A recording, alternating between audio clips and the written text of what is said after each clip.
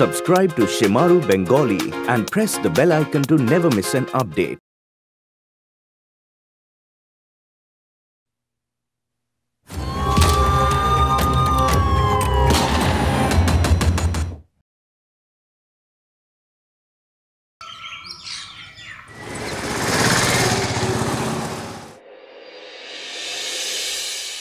জয় সিং প্রধান বাবু রাম রাম আসুন আসুন বসুন। আমি বিয়ের জন্য ছেলে আর সাক্ষী দেবার জন্য লোকজনদেরও নিয়ে এসেছি। তোমার মেয়ে কোথায়? ডাকো ওকে। আমি ডাকছি ডাকছি। আপ- আপনারা আসুন না বসুন। আহ, এসো ভাই। ডাকছি। বসো বসো সবাই বসো। এখানে আমি ছোটবেলা থেকে মঞ্জুরির সঙ্গে সাথে থাকার স্বপ্ন দেখেছি। আর ও অন্য গ্রামের ছেলের সঙ্গে বিয়ে করছে। হ্যাঁ মুখ দেখ তোর। ওই দেখ। কোথায় আকাশের পরি? তোর মনে হয় ও তোকে বিয়ে করবে?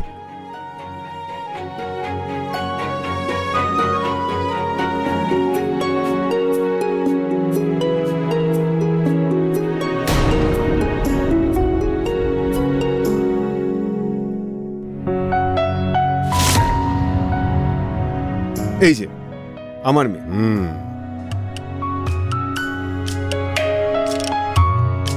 হ্যাঁ তো ভাই আজকের এই পঞ্চায়েত জয়সিংহের মেয়ে মঞ্জুরির বিয়ের জন্য সবাইকে ডাকা হয়েছে। জয়সিংহ নিজের মেয়ে মঞ্জুরির বিয়ে আমাদের পাশের গ্রামেরই রমেশ ওর ছেলে অজয়ের সাথে দেড় লক্ষ টাকায় ঠিক করেছে। ভাই নিয়ে এসো ওদের। হ্যাঁ ডাকছি হ্যাঁ নিয়ে এসো।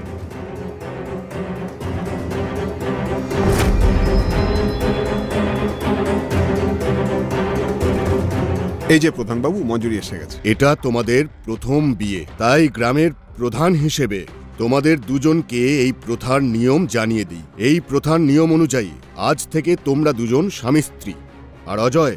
কিন্তু ততক্ষণ, যতক্ষণ মঞ্জুরি তোমার সঙ্গে খুশি থাকবে আর নিজের ইচ্ছায় তোমার সাথে তোমার বউ হিসেবে থাকবে, আগে গিয়ে ওর যখনই ইচ্ছে হবে, ও তোমাকে ছেড়ে ফেরত এসে অন্য যে কোনো পুরুষের সাথে বিয়ে করতে পারে। আর সেই সময় তুমি ওর ওপর কোনো রকম জোর খাটাতে পারবে না। বুঝেছ? হ্যাঁ স্যারপাঞ্জি তো ভাই রমেশ দিয়ে দাও টাকা পঞ্চায়েতকে। হ্যাঁ। এই নিয়ে নাও ভাই এর থেকে পঞ্চায়েতের কমিশন কেটে বাকিটা জয়সিংহকে দিয়ে দাও। হ্যাঁ স্যার দিচ্ছি। এই নিন। হ্যাঁ ভাই জয়সিংহ এসো মঞ্জুরির হাত অজয়ের হাতে দিয়ে দাও। হ্যাঁ।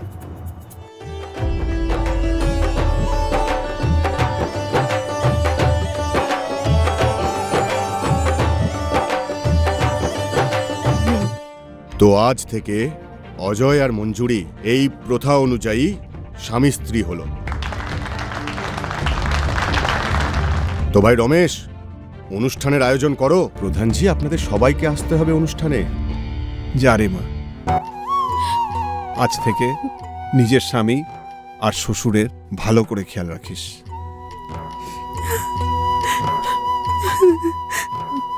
যা, নিজের মায়ের সাথে দেখা করে নে।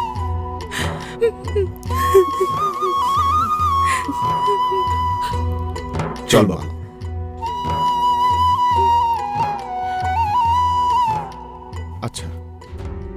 ঠিক আছে। সরপঞ্চ জি আপনি যাবেন না? ওই কুমার বাবু স্ত্রী মারা গেছেন। তো ওখানে তো যেতে হবে নাকি? হ্যাঁ যাওয়া তো উচিত। একটা কাজ কর তুই চল আমি আসছি। চলুন। আচ্ছা প্রধান বাবু রাম রাম ধন্যবাদ আপনাকে। আরে ভাই আমার কমিশন? কমিশন তো দিলাম আপনাকে প্রধান বাবু কমিশন তো দিলাম। আচ্ছা। আরে ওটা তো পঞ্চায়েতের কমিশন ছিল। তো? আমারটা কোথায়? দেখো জয়সিংহ আগে গিয়েও আমাকে কিন্তু দরকার পড়বে। টাকা কামাতে চাস তো? তো ব্যাস আমার কমিশন দিয়ে যা। চল বার কর। নিন। হ্যাঁ এই না হলে কথা হ্যাঁ? ভালো থাক।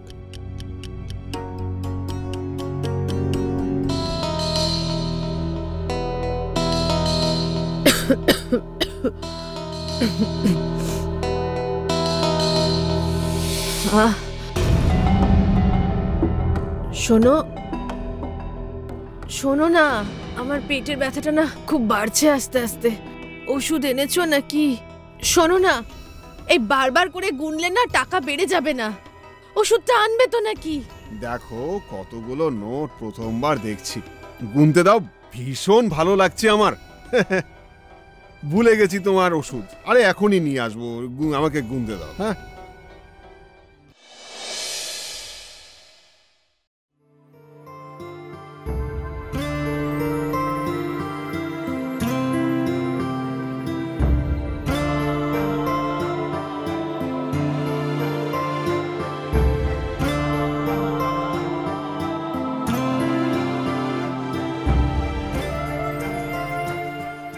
বাবা গেছে?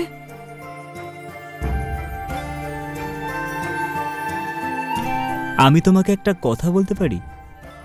হ্যাঁ বলো। আমি আমার সারা জীবনে তোমার থেকে সুন্দরী মেয়ে আমি দেখিনি।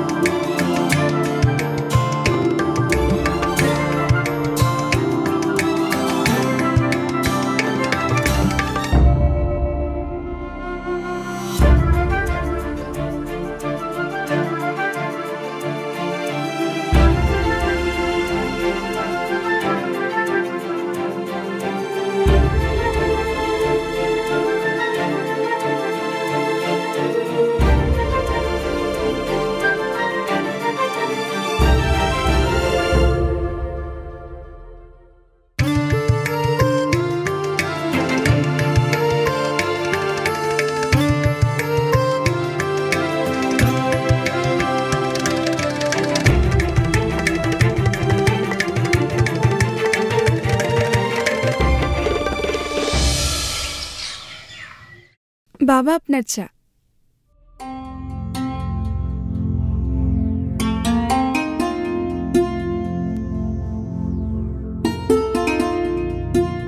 বাহ বৌমা খুব ভালো চা হয়েছে। আচ্ছা বাবা খাবার কি বানাবো? আরে বৌমা খাবারে কি বানাবে?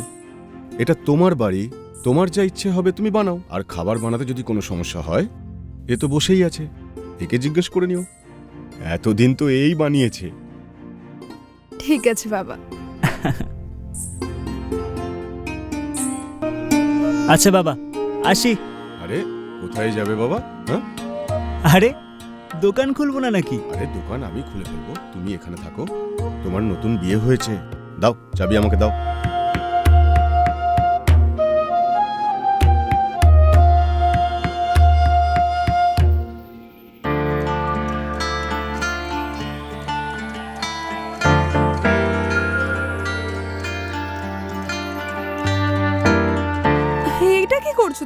আরে আমি আমার বউকে আদর করছি? এখন ছাড়ো এখন আমি খাবার বানাবো। তুমি সেটা নিয়ে চিন্তা করো না খাবার আমি বানিয়ে দিচ্ছি।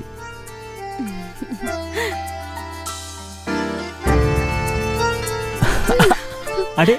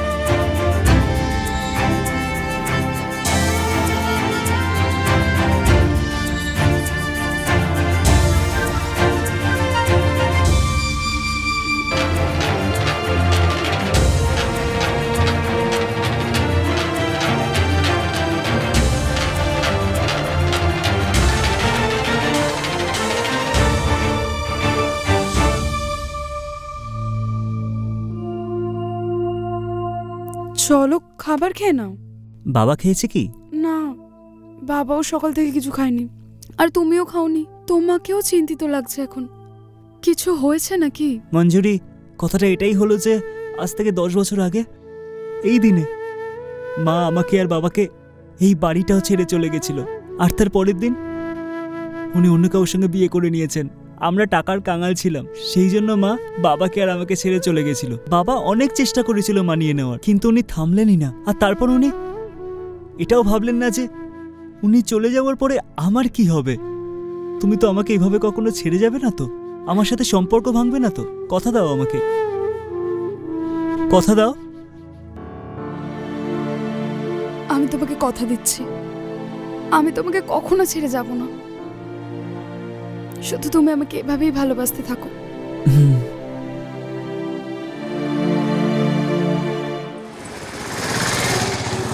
নিন প্রধানবাবু। হ্যাঁ হ্যাঁ হ্যাঁ হ্যাঁ।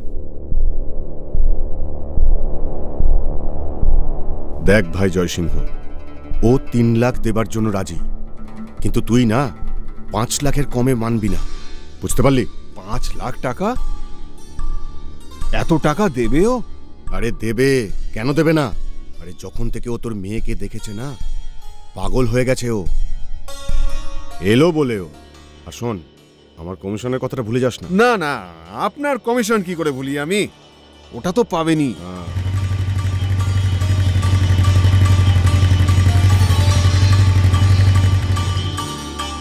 নমস্কার সরপঞ্চ বাবু আরে রাম রাম ভাই রাম রাম। আয় আয় আয়। বস। বস আমি চা না না কাকা চায়ের দরকার নেই।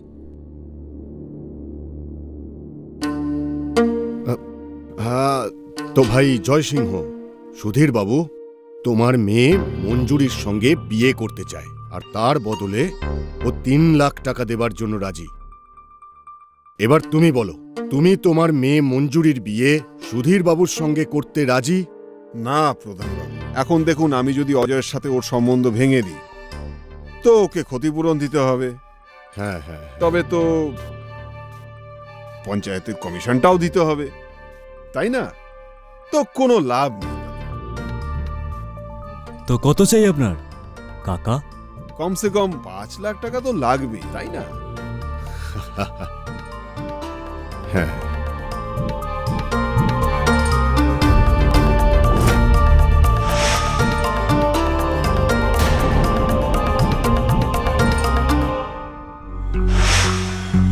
ঠিক আছে। আমি তৈরি আছি। কিন্তু আমার একটা শর্ত আছে। শর্ত? কীরকম শর্ত? দেখুন কাকা যদি মঞ্জুরির বিয়ে আমার সাথে ভেঙে যায় যে কোনো কারণে তাহলে আমার সুদ সমেত সাত লাখ টাকা চাই। না না যদি আপনি রাজি না হন তো কোনো ব্যাপার নয়। আসছি আমি। বসো বসো। হ্যাঁ হ্যাঁ বসো বসো বসো। চলো ঠিক আছে। রাজি আছি আমি। এই হলো না কথা। এই নিন পঞ্চাশ হাজার। অ্যাডভান্স আছে। এবার কাকা তাড়াতাড়ি মঞ্জুরিকে শ্বশুরবাড়ি থেকে নিয়ে চলে আসুন। হ্যাঁ আমি আমি আজই চলে যাব। ঠিক আছে আসছি। নমস্কার। হ্যাঁ নমস্কার।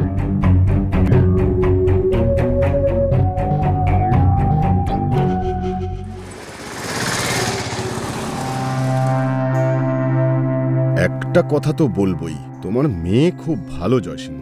এক মাসে গোটা ঘর সামলে ফেলল। এরকম বৌমা কপাল করলে পাওয়া যায়। হ্যাঁ হ্যাঁ তা তো ঠিকই।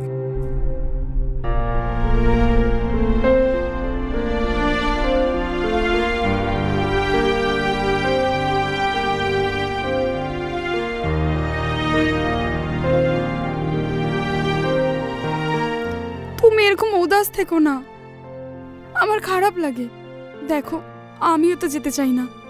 কিন্তু যদি না যাই তো মা খারাপ ভাববে। আর তাছাড়া এক দুদিনেরই তো ব্যাপার। তারপর তুমি চলে যাবে আমাকে নিতে। কিন্তু মঞ্জুরি আমার তো খুব ভয় লাগছে। আমার না খুব ভেতরটা কীরকম করছে। এত চিন্তা করো না। আমি তোমাকে কখনো ছেড়ে যাব না। আমি ঠিক বাড়ি ফিরে আসব।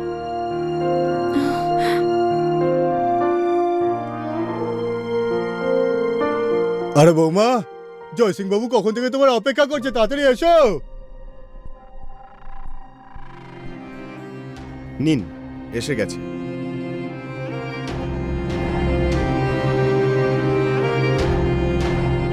আচ্ছা রমেশ বাবু চলিয়া ধন্যবাদ হ্যাঁ? রাম রাম। রাম রাম। আয় মঞ্জুরি বা আয় চল।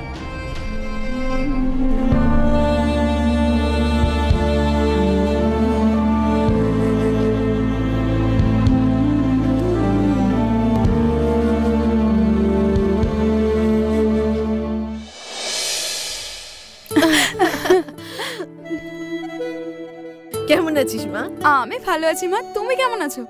আর তোমার পেট ব্যথা ঠিক আছে? আরে আমার এই পেট ব্যথা না আমার সঙ্গেই ওপরে যাবে। মা! তুই আয়, তুই আয় না।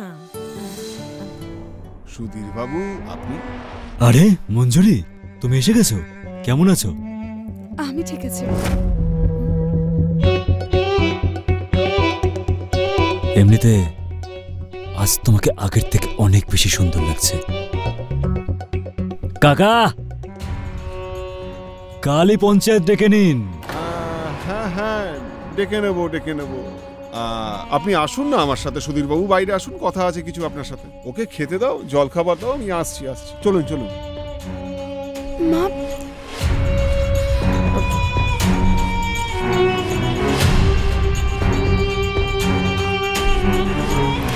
বাবা ওই সুধীর কি পঞ্চায়েতের বিষয়ে কথা বলছিল? তা সুধীর বাবুর সাথে আমি তোমার সম্বন্ধ ঠিক করে ফেলেছি। কি? বিয়ে ঠিক করেছ? এটা কীভাবে সম্ভব? আমি তো অজয় স্ত্রী। আমার তো বিয়ে ওর সাথে হয়েছে। হ্যাঁ তো ভেঙে দেবো। তো কি এমন হয়েছে? এরকম কীভাবে ভেঙে দেবে বিয়ে? না আমি এরকম বিয়ে ভাঙতে পারব না। আরে পাগলামি করিস না। এই প্রথার রীতি এটাই একজনের সাথে সম্পর্ক ভাঙো আরেকজনের সাথে জোরো আর ওই সুধীর বাবু পাঁচ লাখ টাকা দিচ্ছে পুরো পাঁচ লাখ। পাঁচ লাখ থেকে আর পঞ্চাশ লাখ। আমি এইভাবে বিয়ে ভাঙবো না ব্যাস। আরে পাগল হোস না। আরে তুই প্রথম সম্বন্ধতেই মন দিয়ে ফেলেছিস।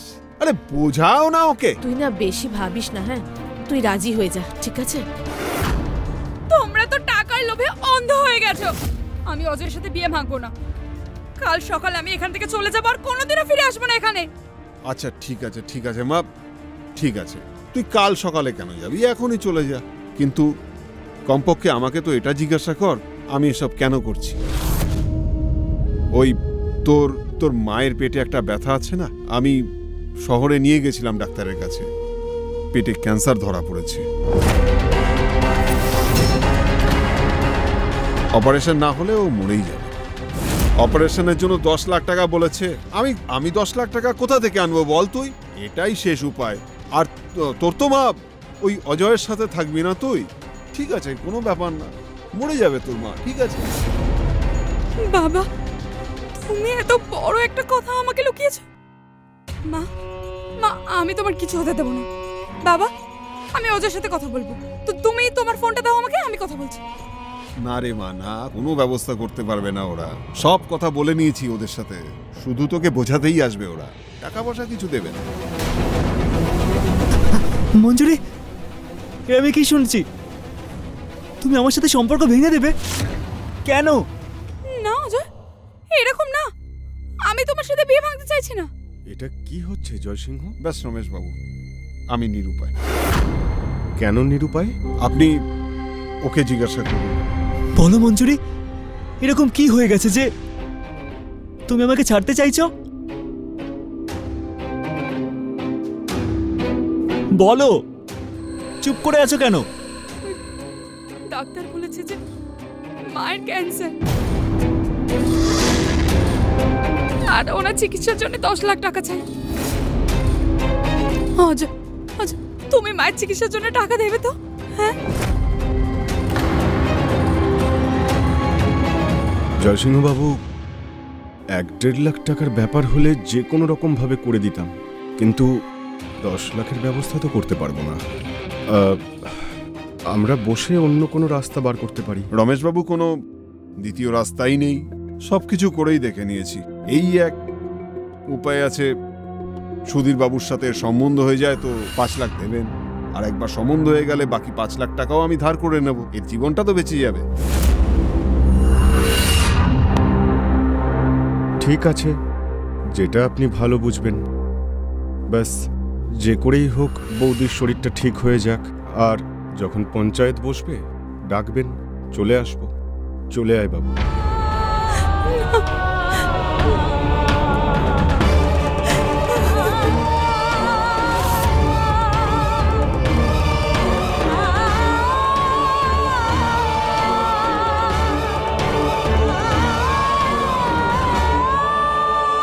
আজকের এই পঞ্চায়েত সুধীর আর মঞ্জুরির বিয়ের জন্য ডাকা হয়েছে। মঞ্জুরি নিজের ইচ্ছায় নিজের পুরনো স্বামী অজয়কে ছেড়ে সুধীরের সাথে বিয়ে করার জন্য রাজি হয়েছে। মিথ্যে এগুলো! নিজের ইচ্ছায় নয় এমনকি জোর জবরদস্তি সম্পর্কটা ভেঙেছে। বাজে কথা বলিস না চুপ কর।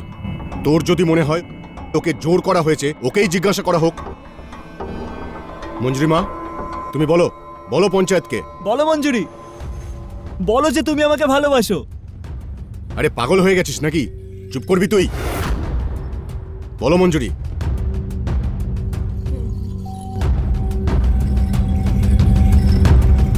হ্যাঁ আমি আমার ইচ্ছায় অজয়ের সাথে বিয়েটা ভাঙছি।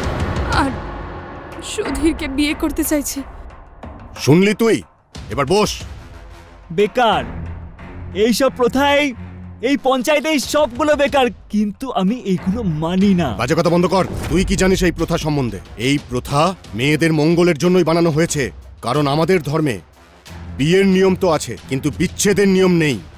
যার সুযোগ নিয়ে কিছু লোক মেয়েদের ওপর অত্যাচার করে, আর মেয়েদের সেই অত্যাচার সহ্য করতে হয়। আর সেই জন্য আমাদের সমাজের পূর্বপুরুষেরা মেয়েদেরকে বুঝেছে এবং এই প্রথা শুরু করেছে, যাতে মেয়েদের ওপর যে অত্যাচার হচ্ছে, সেটা বন্ধ হয়। যাতে মেয়েরা নিজেদের পছন্দ মতো পুরুষকে বিয়ে করতে পারে।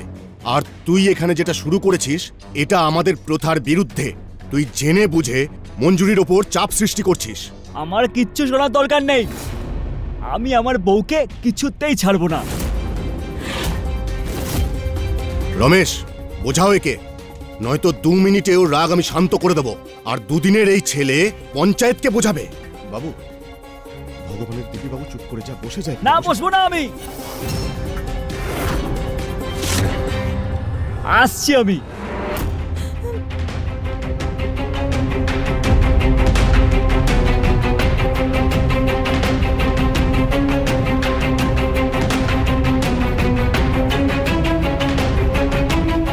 বন্ধুগণ সুধীর জয়সিংহকে এই বিয়ের জন্য পাঁচ লাখ টাকা দেবে। কিন্তু হ্যাঁ এতে একটা শর্তও আছে।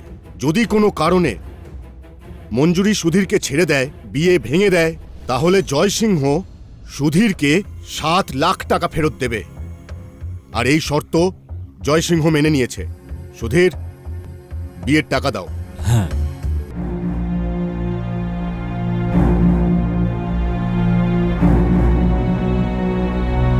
এই দু লাখ, এই দু লাখ। আর এক পাঁচ। এর থেকে পঞ্চায়েতের কমিশন কেটে নাও। হ্যাঁ প্রধানবাবু। আর ভাই রমেশ তোকে কত ক্ষতিপূরণ দিতে হবে? প্রধানবাবু দেড় লাখ টাকা তো জয়সিংহকে দিয়েছিলাম। বাকি এক লাখ টাকা অনুষ্ঠানে মঞ্জুরি জামা কাপড় গয়না কেনাতেই খরচ হয়ে গেছে। সব মিলিয়ে আড়াই লাখ টাকার ক্ষতিপূরণ হয় আমার। আরে ভাই এক মাস পর্যন্ত মঞ্জুরি তোর আর তোর ছেলের সেবাও তো করেছে না? হ্যাঁ? তো সেই হিসেবে ওরও তো পঞ্চাশ হাজার টাকা পাওনা থাকে। সেই হিসেবে তোর ক্ষতিপূরণ হবে দু লাখ টাকা। রাজি আছিস? ঠিক আছে। হ্যাঁ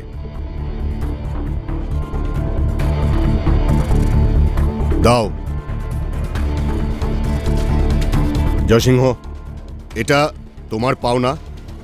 নিজের মেয়েকে নিয়ে এসো আর সুধীরের হাতে তোমার মেয়ের হাত তুলে হ্যাঁ। দাও।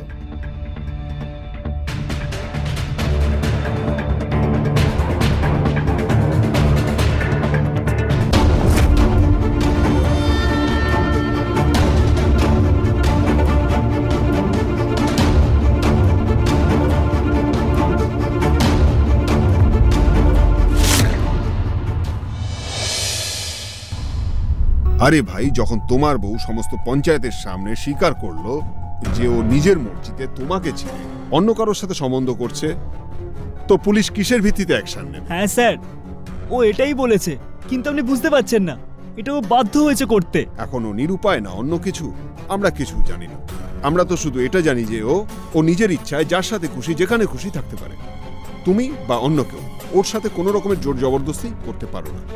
না আইনতভাবে না প্রথাগত হ্যাঁ উল্টে ও যদি তোমার বিরুদ্ধে কমপ্লেন করে তো তুমি কিন্তু মুশকিলে পড়ে যাবে।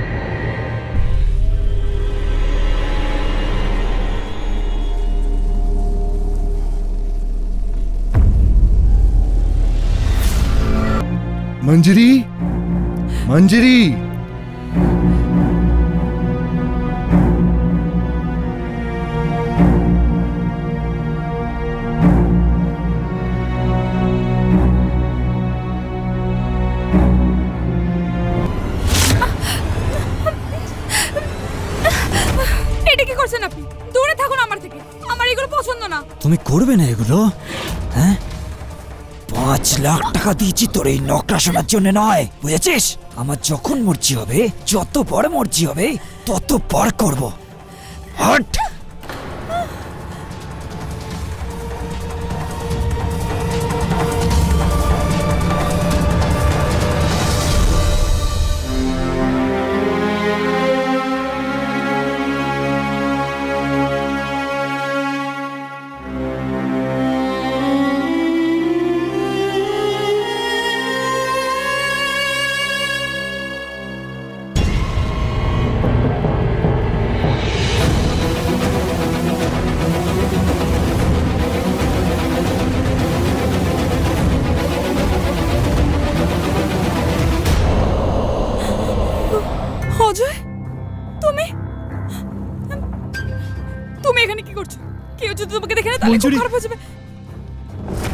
বলতে যে আমার সাথে কখনো সম্পর্ক ভাঙবে না?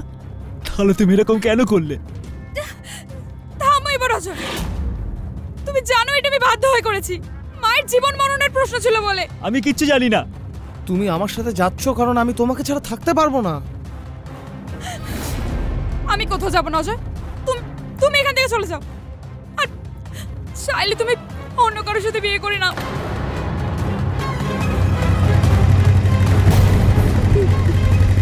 চলে এসেছে। এখন কি হবে? অজয় তুমি এখান থেকে যাও। তুমি যাও এখান থেকে। যাও। তুমি যাও এখান থেকে। এখানে কেন? এই সর সর সর। তুই এখানে কি করছিস? তোর এত বড় সাহস? তুই আমার বাড়িতে চলে এসেছিস? আমি শুধু কথা বলতে এসেছি। কথা বলতে এসেছিস বউ হয় আবার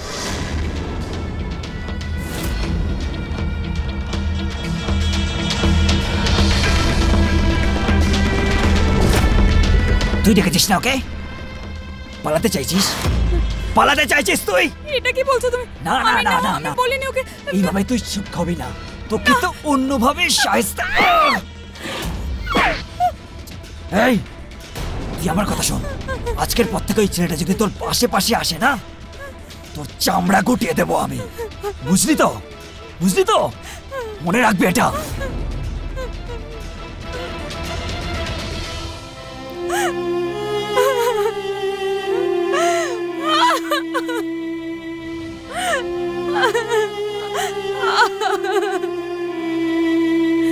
রাম রাম কুমার বাবু রাম রাম প্রধান কেমন আছো? আমি তো ঠিক আছি। আপনি বলুন আপনি কেমন আছেন? দেখো প্রধান তুমি তো জানোই আমার বউ দু মাস হলো মারা গেছে আর বাচ্চা দুটো আমার দিল্লিতে আছে। তো বাকি থাকলাম আমি একলা। তো প্রধান কথাটা হলো এই আমার এই একা থাকার অভ্যাসটা নেই। তো তোমাদের ওখানে সেই প্রথাটা আছে না?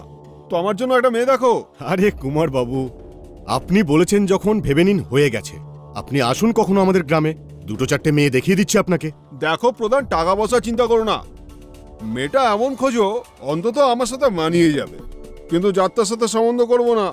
শুধু আপনি চলে আসুন। এমন মেয়ে দেখাবো না আপনি দেখে পুরো পাগল হয়ে যাবেন। হ্যাঁ ঠিক আছে।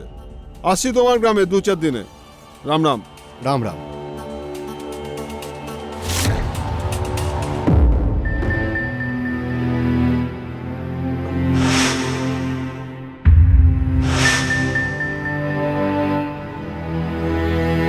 তোমাকে কথা দিচ্ছি। আমি তোমাকে কখনো ছেড়ে যাব না।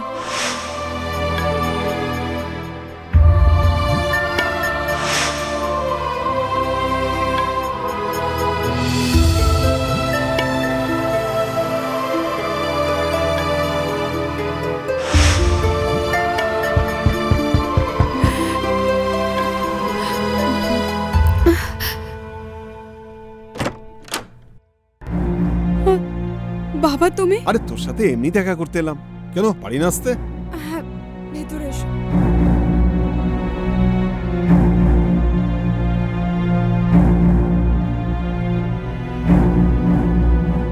সুধীরবাবু কোথায়?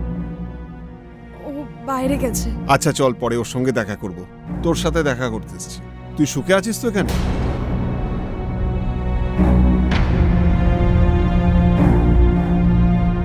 আরে এটা কি? এইসব মারের দাগ না? আরে ও মারে তোকে? আরে তুই এখানে আছিস কেন? তুই আমার কাছে চলে আসিস নি কেন? আরে কাকা নমস্কার। কখন এলেন? আরে তোর এত সাহস? আমার মেয়ের গায়ে হাত দিস তুই হ্যাঁ? এই জন্য সম্বন্ধ করেছি। জামাইয়ের ওপর হাত তোলে না কাকা।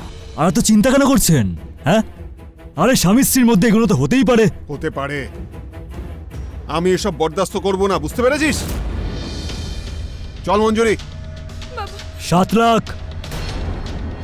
মনে আছে তো কাকা? সাত লাখ দিতে হবে। কোথা থেকে আনবেন এতগুলো টাকা? যদি কান্নাকাটি করে আবার এখানে ফিরিয়ে আনতে হয় তাহলে এখানেই রেখে যান। সাত লাখ টাকা এনে তোর মুখের উপর ছুঁড়ে মারবো। যেখান থেকে পারব আনব কিন্তু ওকে এখানে রাখব না। বুঝলি? চল।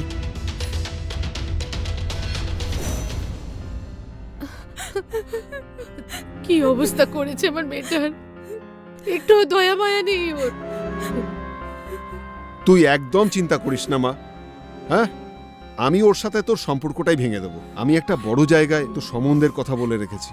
আর যদি সব ঠিক থাকে না তো আমি গিয়ে সুধীরের মুখের উপর টাকা ছুঁড়ে মারবো। বাবা আমি অজয়ের সাথে থাকতে চাই। আমি আর কাউকে বিয়ে করতে চাই না। আরে আবার সেই অজয়ের ভূত তোর মাথায় চেপেছে। আরে ওর বাবা ওর জন্য মেয়ে দেখতে শুরু করেছে। আর তোকে মেনে নেবে না। তাই তোর সম্বন্ধের কথা কুমার বাবুর সাথে বলেছি। সব ঠিক থাকলে না রানী হয়ে যাবি রানী। আমি চাই না রানী হতে। আমি শুধু অজয়ের সাথে থাকতে চাই। আরে পাগল হোস না। হ্যাঁ? চল ধরে নিলাম যে ওরা তোকে মেনে নিল। কিন্তু সুধীরের মুখের উপরে সাত লাখ টাকা কি করে ছুঁড়ে মারবো? আর তোর মায়ের ট্রিটমেন্টও তো করাতে হবে তাই না? ওসব কি করে হবে? আরে একমাত্র কুমার বাবুই আছে যে এসব করতে পারে। সুধীরের টাকাও ওর মুখের উপর ছুঁড়ে মারা হবে আর তোর মায়ের ট্রিটমেন্টও হয়ে যাবে। কথাটা বোঝ আগে। হ্যাঁ? অজয়ের ভূত ঝেড়ে ফেল মাথা থেকে। চল মুখে হাসি এনে ঠাকুরকে ডাক। যেন কুমার বাবু তোকে পছন্দ করেন। চল কান্নাকাটি বন্ধ কর। আসছি। এভাবে কাঁদে না। আর কাঁদিস না। শান্ত হ। ঠিক হয়ে যাবে।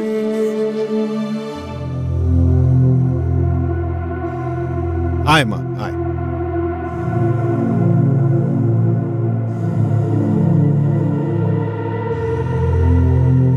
কুমার বাবু এই যে আমার মেয়ে এই যে মঞ্জুরি হ্যাঁ কুমারবাবু কেমন লাগল আপনার মঞ্জুরিকে হুম। আমার মঞ্জুরিকে পছন্দ। যা শুনেছিলাম তার থেকে অনেক ভালো। তো ঠিক আছে এই নাও জয় সিং এক লাখ। তোমার অ্যাডভান্স আর প্রধান হ্যাঁ। পরের সপ্তাহে পঞ্চায়েত ডেকে নাও। ঠিক আছে কুমারবাবু। রাম রাম। রাম রাম।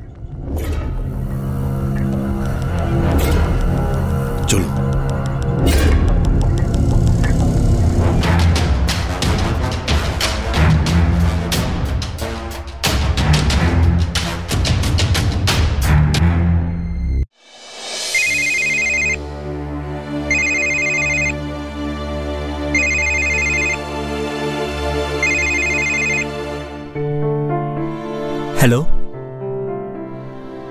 হ্যালো অজয় মঞ্জুরি তুমি? আমি তোমার সাথে দেখা করতে চাই এক্ষুনি। দেখা করতে তো আমিও চাই তোমার সাথে। তুমি একটা কাজ করো। তুমি তোমার বাড়ির বাইরের মাঠটাতে দশ মিনিটের মধ্যে চলে এসো। ঠিক আছে আমি আসছি।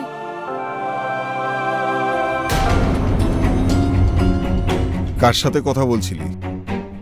অজয়? এত করে বোঝালাম তোকে তাও কোনো কথা তোর মাথায় ঢুকছে না? হ্যাঁ অজয়ের সাথে কথা বলছিলাম। আর এখন দেখাও করতে যাচ্ছি ওর সাথে। পাগল হয়ে গেছিস? কুমার বাবু জানতে পারলে ভীষণ রাগ করবে। আমি কিচ্ছু শুনতে চাই না বাবা। আমি অজয়ের সাথে দেখা করতে যাচ্ছি মানে যাচ্ছি। আর হ্যাঁ পালিয়ে যাব ওর সাথে। শুধু শেষবার দেখা করতে যাচ্ছি।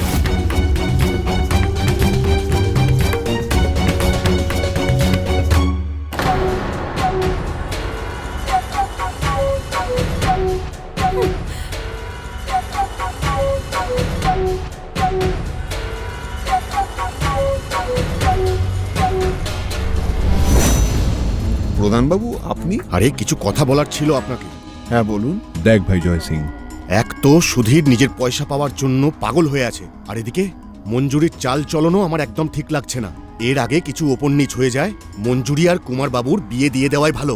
দেখুন আমি তো বলি কালকেই পঞ্চায়েত বসিয়ে দিই। হ্যাঁ কালই দেখে নিন। ঠিক আছে আমি এক্ষুনি কুমারবাবুকে ফোন করছি। আর হ্যাঁ আপনি বিয়ের ব্যবস্থা করুন। হ্যাঁ ঠিক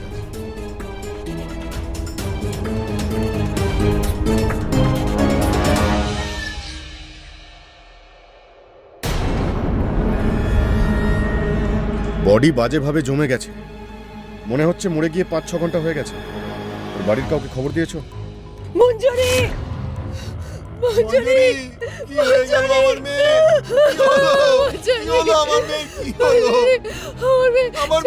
ছেড়ে! দাও!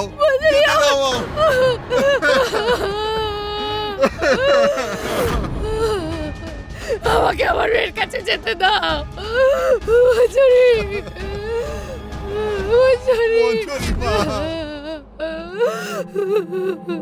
তো জয়সিংহজি বলুন আপনি কি হয়েছিল? স্যার কাল রাতে মঞ্জুরি খুব জেদ করছিল নিজের প্রথম স্বামী অজয়ের সঙ্গে দেখা করবার জন্য। আমি অনেক বারণ করেছি ওকে। কথাই শুনছিল না আমার। আমি ভীষণ রেগে গেছিলাম। আমি তো গিয়ে শুয়ে পড়লাম। আর সকালে উঠে খবর পেলাম মঞ্জুরি আর নেই। আপনি বললেন যে ওর প্রথম স্বামীর সঙ্গে দেখা করতে গেছে মানে? ইন্সপেক্টর স্যার আপনি তো জানেন আমাদের সমাজে নাতা প্রথার নিয়ম আছে। তো সেই নিয়ম অনুযায়ী প্রথমে মঞ্জুরির বিয়ে অজয়ের সঙ্গে হয়েছিল। তারপরও অজয়কে ছেড়ে ও সুধীরের সাথে বিয়ে করেছিল। কিন্তু ও অজয়কে ছেড়েছিল কেন? আমার জন্য স্যার। আমি ওকে বলেছিলাম সুধীর অনেকগুলো টাকা দিতে চাইছিল তাই অজয়কে ছেড়ে দে সুধীরকে বিয়ে করে নে। তার মানে মঞ্জুরি এখনও সুধীরের সঙ্গেই থাকতো? না স্যার। সুধীর ওকে প্রচণ্ড মারধর করত। তাই আমি ওকে আবার ঘরে নিয়ে আসি। আমি ওর সম্বন্ধটা কুমার বাবুর সাথে ঠিক করেছি। ঠিক আজকেই ওদের বিয়ে হবার কথা ছিল। তো আজকেই সব শেষ হয়ে গেল।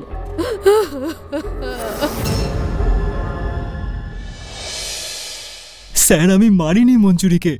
আসলে সকাল হতেই আমি সবার আগে পুলিশ স্টেশনে আসলাম। এটাই প্ল্যান ছিল আমার। কাল রাতে দেখা করতে এসেছিল।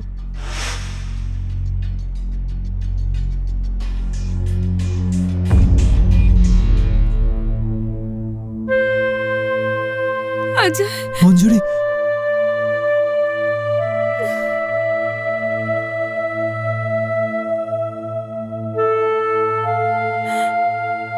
তুমি কাঁদছো কেন মঞ্জুরি? তোমাকে তো আনন্দে থাকা উচিত। কাল তুমি কুমারবাবুর বউ হয়ে যাবে। আমি চাই না ওনাকে বিয়ে করতে। আমি তোমার সাথে নিজের জীবনটা কাটাতে চাই। তাহলে তাহলে আমার সাথে সম্পর্ক কেন? মায়ের চিকিৎসার কথা। আরে কিসের চিকিৎসা? তোমার বাবা মিথ্যে কথা বলেছিল। কোনো ক্যান্সার নয় তোমার মায়ের। মিথ্যে কথা এই জন্য বলেছে যাতে তোমার আমার বিয়েটা ভেঙে ওই সুধীরের সাথে হতে পারে। তুমি তুমি সত্যি বলছো অজয়? তোমার মাথার দিব্যি দিলাম মঞ্জুরি। আড়ালে আমি নিজের কানে শুনেছি। সারপঞ্চে তোমার বাবাকে একসাথে কথা বলতে। যদি এরকম হয় তো আমি ওই বাড়িতে আর কোনোদিনও ফিরে যাব না। তুমি আমাকে নিজের সাথে নিয়ে চলো। না না মঞ্জুরি। এখন পরিস্থিতি পাল্টে গেছে। যদি কুমারবাবু জানতে পারে না যে আমি তোমাকে পালিয়ে নিয়ে গেছি ওই পঞ্চায়েতের লোকজনকে কুমারবাবু ডেকে এনে আমাকে জানে মেরে দেবে। কোনো তো উপায় আছে না হজো এই সমস্যা থেকে বেরোনোর জন্য? এই সমস্যা থেকে না পুলিশই একমাত্র বাঁচাতে পারে। কিন্তু এখন এখন অনেক রাত হয়ে গেছে।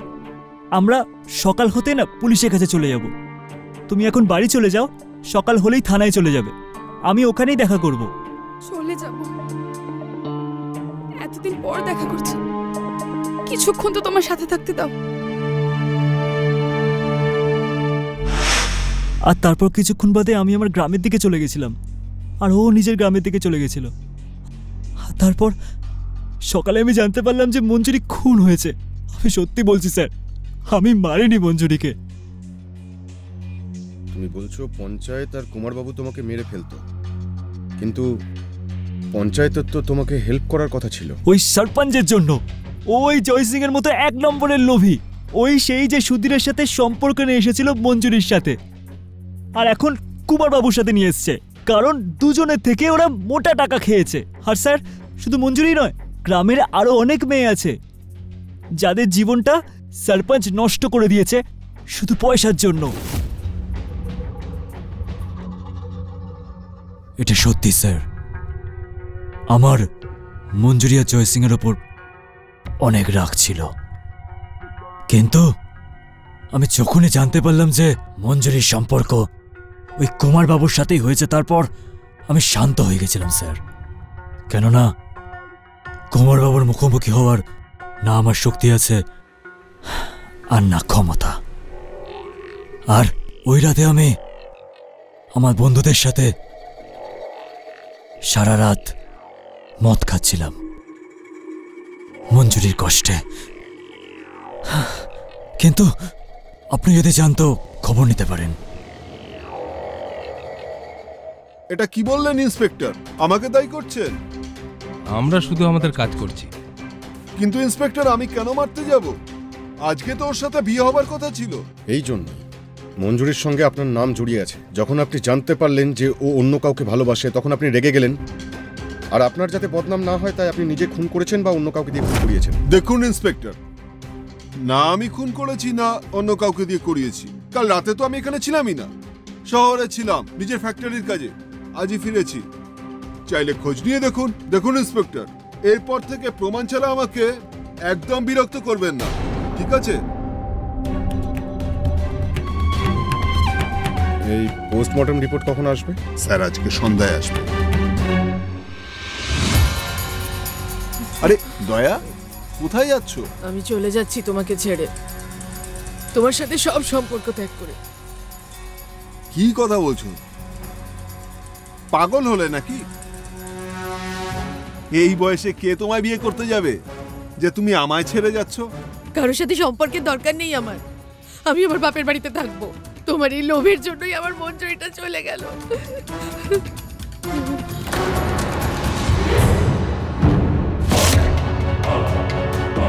স্যার কিছু জানতে পারলেন? জানা গেছে মঞ্জুরিকে গলা টিপে মারা হয়েছে।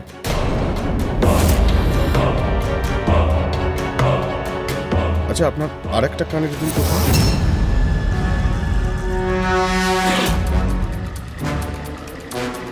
পড়ে গেছে হয়তো। আচ্ছা। এই রইল আপনার কানের দুল। আর এটা আমরা মঞ্জুরির হাতের মুঠো থেকে পেয়েছি। যখন বডি পেয়েছিলাম তখন পুরোপুরি শক্ত হয়ে গিয়েছিল। তাই তখন আমরা এটা দেখতে পাইনি। কিন্তু ডক্টরের পোস্টমর্টম করার সময় আমরা এটা পেয়েছি। আর এখন তো এটাও কনফার্ম হয়ে গেল যে এটা আপনার বলুন কেন মারলেন নিজের মেয়েকে? তুমি মেয়েটার গলা টিপে মেরে ফেলেছো? আমি কি করতাম? আমি কিছু বুঝতে পারছিলাম না। যদিও অজয়ের সাথে পালিয়ে যেত তো। তো কুমার বাবু আমার প্রাণ নিয়ে নিতে এই জন্য আমি প্রধান বাবু চলে যাবার পর আমি ওকে খুঁজতে বেরোলাম।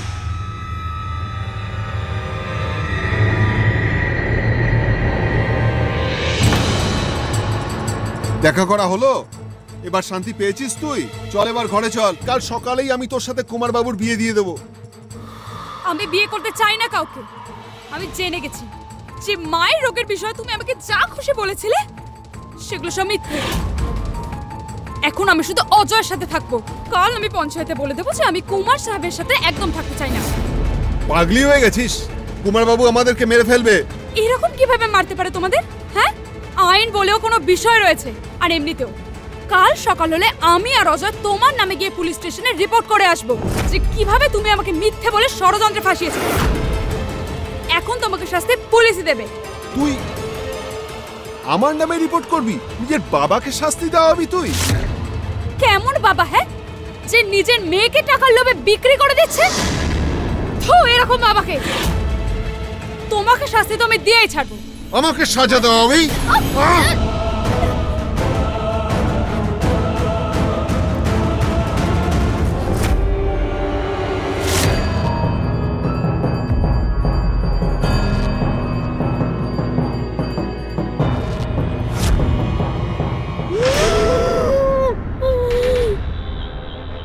এই জন্য আমি ঘরে এসে চুপচাপ শুয়ে পড়েছি।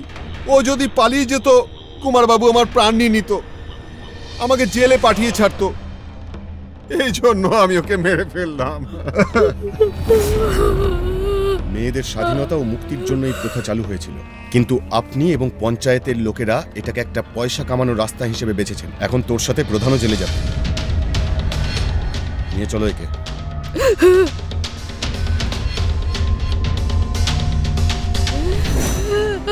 আমার মেয়েটা।